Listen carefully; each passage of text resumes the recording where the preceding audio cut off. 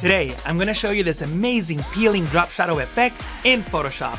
It's only gonna take a few steps and you're going to learn a lot. Okay, let's jump right into the tutorial. In this document, I'm working with a background layer and a regular text layer. The font is not important, but if you want to use this font, I'm using Proxima Nova. And the first step is to double click to the side of the layer to bring up the layer style window. From here, you can select the drop shadow that we're going to apply to the text. You probably already know how to do this, but basically you can use the controls here to apply your shadow. You can also click and drag directly over your shadow to reposition it. I'll place it here on the side and I'll increase the opacity to about 35%. And I'm going to select the same pink as the shadow and bring the brightness down by clicking on the brightness input box and tapping on the down arrow key. If you hold shift as you tap the arrow key, then you'll move in larger increments. I like to use the darker version of the surface where the shadow is sitting on to make it more realistic. I'll press OK. And what I'll do now is just add a few more shadows to this. So I can click on this plus icon to add a second shadow. And I could also click and drag. So I'll drag this out a bit more. I'll increase the size to blur it a bit. And I'll also maybe adjust the distance like so. I'm noticing that I don't really like the blurriness of the original shadow, so I can click back on drop shadow and also increase the size, like so. And on the second one, I'll increase the size more to blur it even further. Next, I'll click on the plus icon one more time. And what I'll do now is I'll click this shadow to the very top and I can reduce the size and maybe even reduce the opacity and click and drag it closer to the text and this shadow is more of a contact shadow. So let me increase the size and the opacity just a bit more.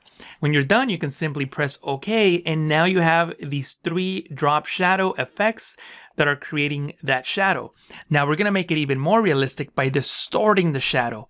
So that we can distort the shadow, you need to convert these layer styles into layers, and that's very easy to do. All you need to do is right click on the effects icon and click on create layers press OK, and Photoshop will create three layers based on the layer styles that you created. The next step is to put them all into a smart object so that we can distort them non-destructively. A smart object allows us to hold one or more layers and we can apply adjustments, distortions, filters, and transformations non-destructively. In other words, we can always come back and edit those. But we're gonna have an issue, and let me show you what that is. With the three layers selected, I can right click and select Convert to Smart Object. If I press Ctrl T on Windows, Command T on the Mac to transform, I'm going to get this bounding box that is going to cover the entire canvas. And the reason that that's happening is because we need to uncheck one box. And let me show you what I mean by that. I'll press Ctrl Z, Command Z on the Mac to undo. And notice this icon here to the right of the layer. That is the issue. So let me show you how to fix that. If you double click to the side of the layer to bring up the layer style window, I can check the transparency shapes layers box. When I do that, that icon disappears. I'll press OK and I now need to do the same thing for all the other layers. By the way, the reason that I'm not right clicking on the layer and selecting clear layer style is that removing a layer style also removes styles that I want to keep. So I do need to double click to the side of the layer and check that box. And I'll do that for this shadow layer as well. And now when I hold shift and click on these layers to select them and right click to convert to smart object, they are now confined to this smaller bounding box. See that? I can press Ctrl T on Windows, Command T on the Mac to transform, and now it's much easier to distort. I can now right click and select the distort option and I can move the shadow around into position to create the effect that I'm going for.